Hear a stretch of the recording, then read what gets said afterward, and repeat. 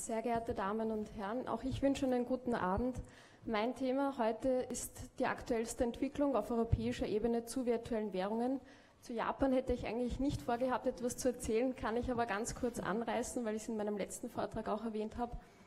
In Japan wurde im April äh, ein Gesetz erlassen, beziehungsweise ist sogar im April in Kraft getreten, wo virtuelle Währungen legalisiert wurden. Und im Zusammenhang mit diesem Gesetz sind den betroffenen Unternehmen, die mit virtuellen Währungen zu tun haben, auch diverse Verpflichtungen auferlegt worden, was dazu geführt hat, dass Kritiker befürchtet haben, dass sich das negativ auswirken wird auf den virtuellen Währungsmarkt in Japan.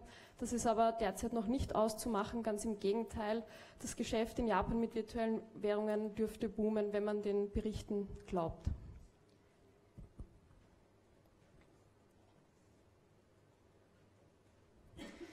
Wir haben es heute schon gehört, Professor Piska hat schon angesprochen.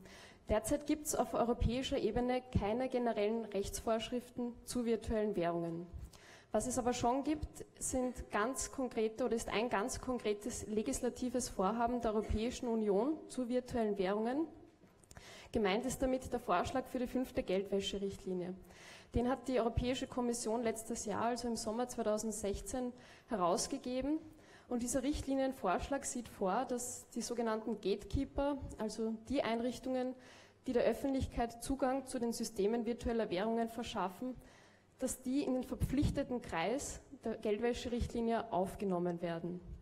Dieser Richtlinienvorschlag nennt ganz konkret zwei Gatekeeper, und zwar einerseits Dienstleister, die virtuelle Währungen in echte Währungen tauschen und umgekehrt, und andererseits Dienstleister, die elektronische Geldbörsen für virtuelle Währungen anbieten.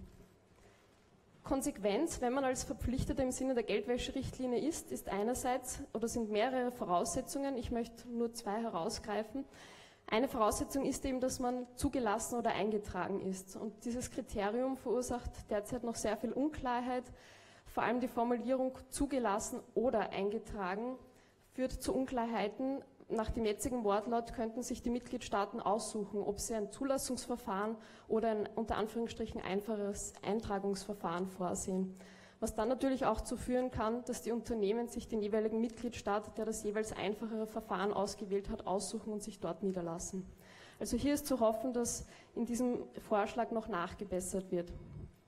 Weitere Konsequenz dass man als Verpflichteter im Sinne der Geldwäscherichtlinie gilt, ist auch, dass man diverse Sorgfaltspflichten zu erfüllen hat. Das heißt, man muss bei gewissen Transaktionen die Identitäten seiner Kunden feststellen, diese Identitäten auch überprüfen, man muss Geschäftsbeziehungen überwachen und Verdachtsfälle melden. Diesen Richtlinienvorschlag gibt es, wie gesagt, seit dem Sommer letzten Jahres. Es haben jetzt diverse verschiedene europäische Einrichtungen Stellungnahmen abgegeben zu diesem Vorschlag. Interessant ist vor allem die Stellungnahme der Europäischen Zentralbank. Die Europäische Zentralbank begrüßt, dass virtuelle Währungen einer Regulierung unterworfen werden sollen. Aber die Europäische Zentralbank spricht sich auch ganz klar dafür aus, dass die europäischen Institutionen ja nicht den Eindruck erwecken sollten, als ob sie virtuelle Währungen oder die Nutzung von virtuellen Währungen fördern wollen würden. Hier sieht man also, dass die Europäische Zentralbank, wie nicht anders zu erwarten war, virtuellen Währungen eher skeptisch gegenübersteht. Auch der Europäische Datenschutzbeauftragte hat eine Stellungnahme abgegeben zu dem Richtlinienvorschlag.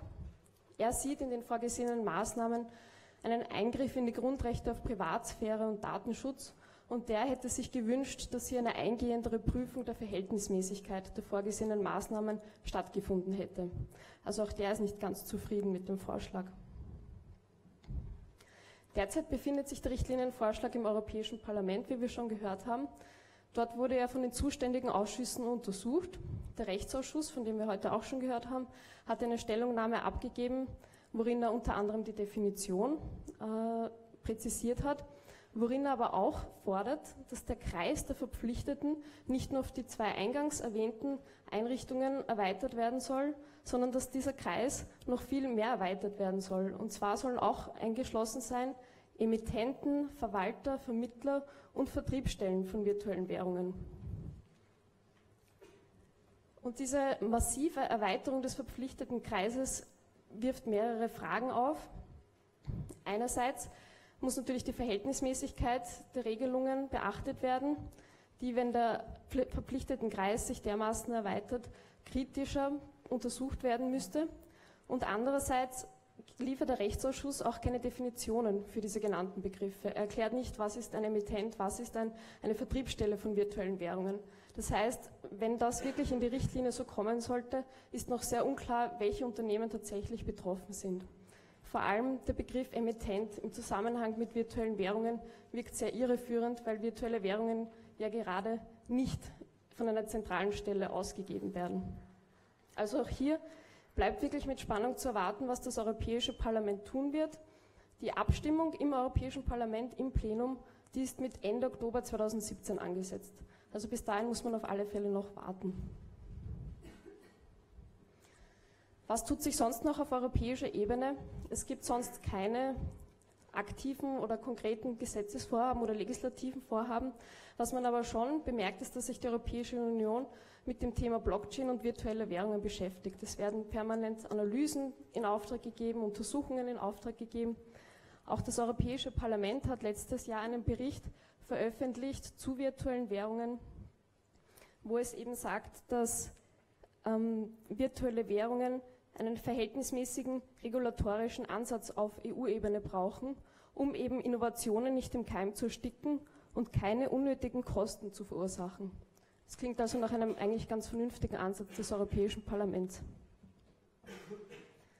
Was auch in den letzten Wochen herausgekommen ist, ist eine Analyse des EPRS, des äh, European Parliamentary Research Service. Das ist eine Art Inhouse-Forschungsabteilung der Europäischen Union. Die hat sich auch beschäftigt mit dem Thema virtuellen Währungen und hat antizipatorische Politik auf dem Gebiet evaluiert. Zuletzt möchte ich noch das Projekt Titanium erwähnen, von dem wir heute auch schon gehört haben. Dabei handelt es sich eben um ein Konsortium von verschiedensten Einrichtungen aus verschiedenen Mitgliedstaaten, die untersuchen sollen, ob es möglich ist, ähm, die illegale Nutzung von virtuellen Währungen hintanzuhalten, ohne aber gleichzeitig in die Rechte derjenigen Nutzer einzugreifen, die virtuelle Währungen auf einem legalen Weg nützen wollen.